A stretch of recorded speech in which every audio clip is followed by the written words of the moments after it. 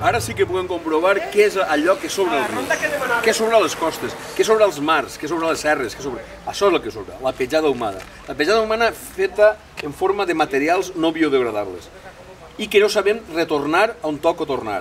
Tenim una àrea d'aportació com la que tenim així i resulta que han hagut de vindre gent del poble a retirar la runa del riu. Aquesta és la runa.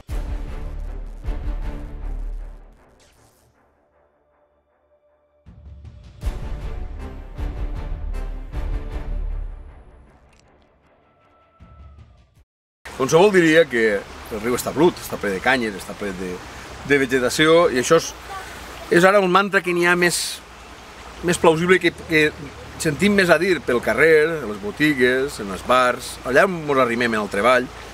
I eh, no és cert, això no està brut. Això estava brut fa una mica, fa una mica estava brut. Quan una gent de Barxeta ha vingut, una gent del nostre poble, de l'Associació de Defensa del Boscarró i altres particulars del, del, de la mateixa població, han vingut i han netejat tot això de merda de merda, de misèria humana. És a dir, de què? De plàstics, de, de, de tritus d'obro, mecànics, industrials, que la, la, la mateixa gent del poble, fent servir o mal servir una zona d'aportació de residus, havia abocat tant al barranc de la, al barranc de la Parra com al mateix riu. Així és, una, és la confluència de, de tots dos cabals. Pel que fa a la resta, és el material, el material orgànic que hi ha, és normal que en els rius hi hagi gran, una gran quantitat de, de biomassa, perquè és una zona on, on es donen dos factors principals per poder, per poder fa facilitar una gran quantitat de, de vida, és a dir, l'aigua i les terres bones. Els al·luvions que, que aporten els rius i els barrancs Barxeta, com qualsevol riu, com qualsevol barranc o riera o rambla de tot el planeta, faciliten, juntament amb la, amb la recurrent proximitat a l'aigua, que la biomassa siga eh, molt, molt exuberant. Això no és cap problema, això ha sigut sempre, i així serà. És curiós com es, es diu i es fomenta, es fomenta el pensament, un, un pensament no, no científic, un pensament que no ha estat avaluat, avalat per, per cap institució científica, que els rius haurien d'estar nets. Neix de, neix de què? Neix de residus urbans, però no neix de vegetació. Tot al contrari.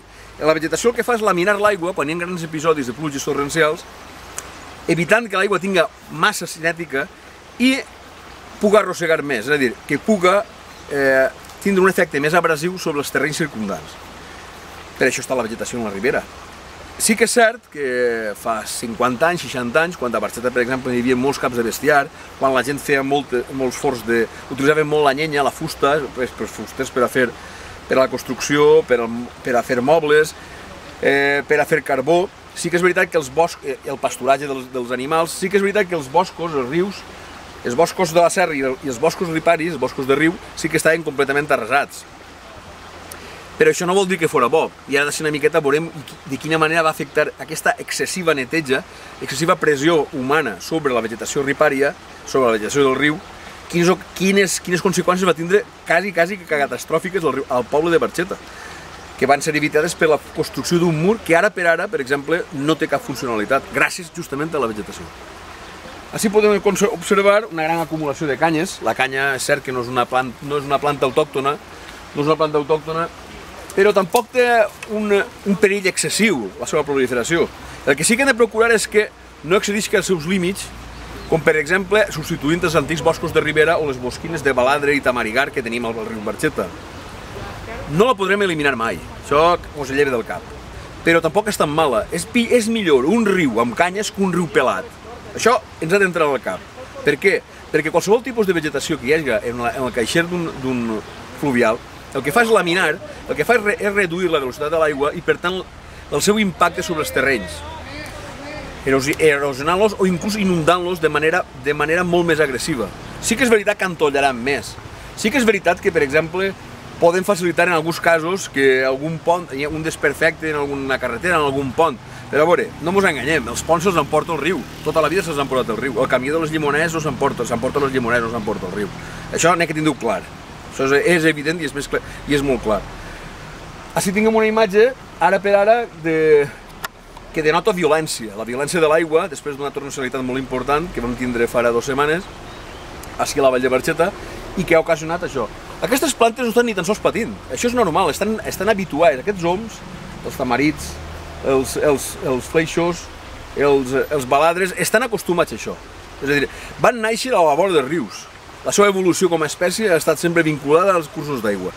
No n'hi ha cap problema amb això. Ells es recuperaran i tornaran per una, un altre cop, quan tornen a vindre aquestes èpoques torrencials, a tornar a laminar i a evitar que l'aigua tinga una violència molt més forta que la, de, la que, de la que havia pogut tindre. És a dir, tinguent els caixers nets. El desastre més gran darrerament va ser el riu Segura, quan les, la torrencialitat en el mes d'octubre va ocasionar que aixe caixer net i formigonat del riu Segura, que va des d'Oriola fins a la mar, va ocasionar el gran desastre que van patir en la vega baja del, del Segura. Això s'hauria pogut evitar com? No havent tocat mai, mai, mai, mai, els boscos de ribera, la vegetació de ribera. És bo que hi hagi vegetació del riu, és molt bo. És, de fet, és imprescindible la presència de vegetació a qualsevol riu de qualsevol planeta, de qualsevol part del planeta. No només així, no només al món mediterrani, sinó al món centreeuropeu, als, als boscos de ribera i de galeria africans, als sud-americans, als de Sibèria. És, és necessari que la vegetació ens protegeixca dels efectes de la violència de les aigües.